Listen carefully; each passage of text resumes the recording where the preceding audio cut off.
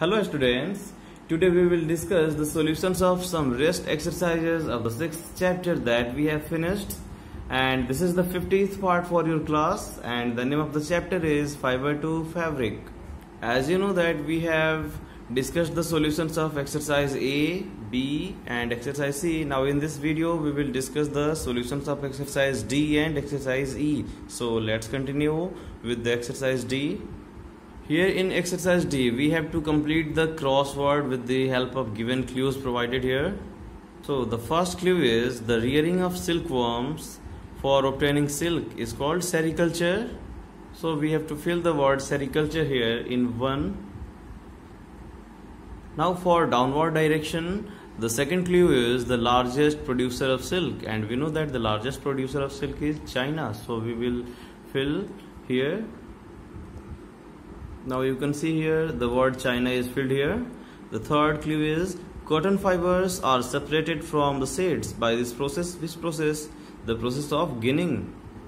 So ginning word will be filled here in the third blanks.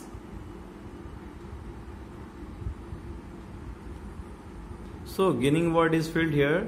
Now the fourth clue is it yields silk fibers. And we know that Cocoon yields silk fibers so it will be filled here in the given blanks.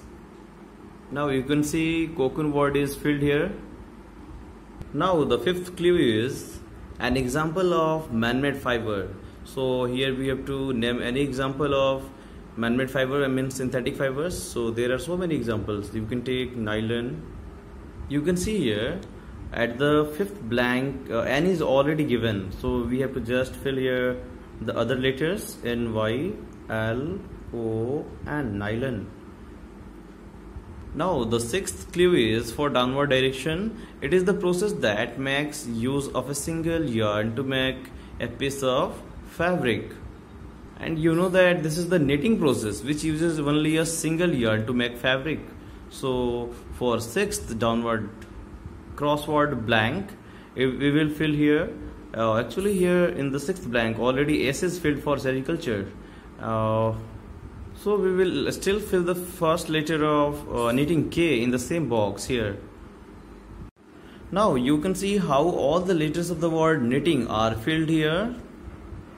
Now look at the seventh clue for a cross direction. It is the process of removing of fleece of the shape. So it is the shearing process so shearing word will be filled here in the seventh blank.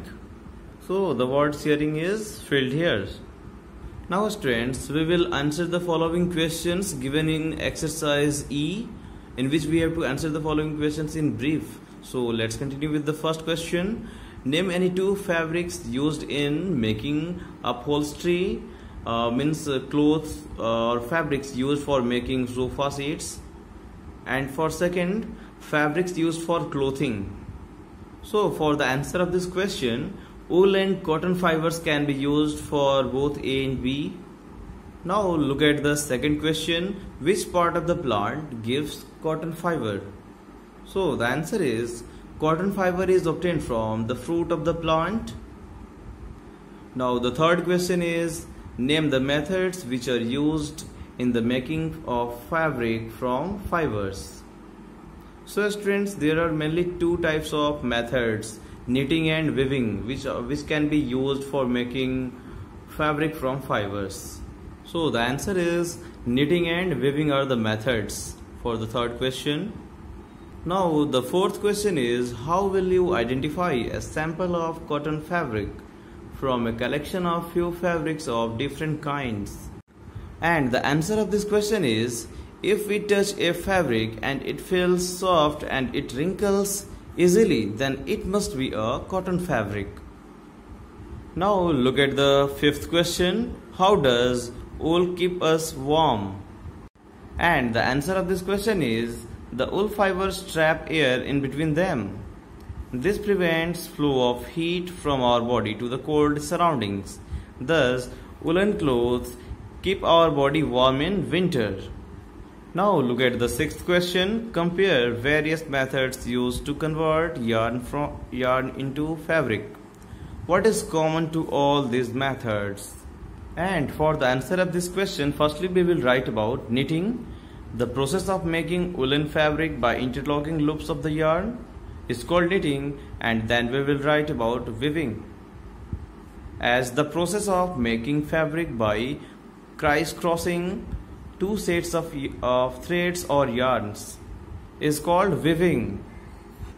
Then you will add when knitted fabrics compared with woven fabrics you will find that knitted fabrics are more stretchable. Now the seventh question of this exercise is cotton and jute are not only the available fibers in the market. Comment. And the answer of this question is there are many fibers available now. Some fibers are obtained from plant sources and others are obtained from chemicals and animal sources. Now students, for today's homework, you have to do these all questions along with their answers in your notebook. Okay, bye.